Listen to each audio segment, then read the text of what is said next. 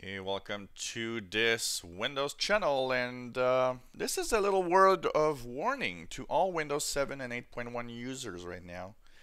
It seems that bundled with Patch Tuesday's update, a update that was part of a security update for Internet Explorer actually works in pair with another update in Windows to pop up a window telling you that you can upgrade to Windows 10 and it pops up a window and I couldn't find an example of that window unfortunately.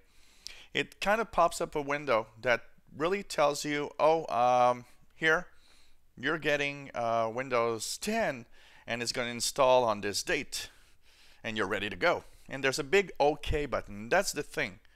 You do not click the OK button some people have reported since yesterday that they uh, started a Windows 10 update without really knowing.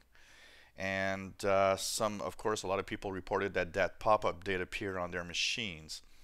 So it's, I would say this one is, you know, a little overboard because disguising security updates into something like, well, let's move to Windows 10 now, click OK, kind of really a little too much. I think Microsoft is pushing too hard to have Windows 7 and 8.1 users go on Windows 10 and I think they should back off on this.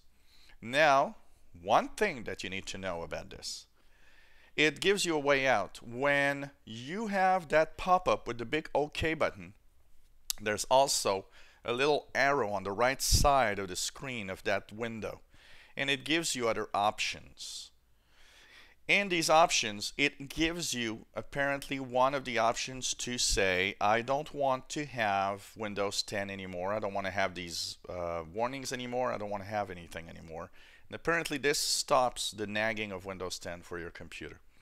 So it's bad in the way that it's done, but it gives you a way out as long as you don't click OK, and that's very important. Don't click the OK button.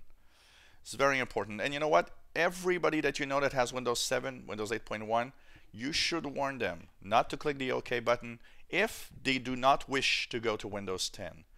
Uh, I think it's important that everybody knows about this uh, because it is another way of Microsoft now trying to push Windows 10 on everyone. So if you got Windows 7 and Windows 8.1, just be careful. When the pop-up arrives, don't click OK go into the right side on the little there's a little arrow that points right and apparently has options.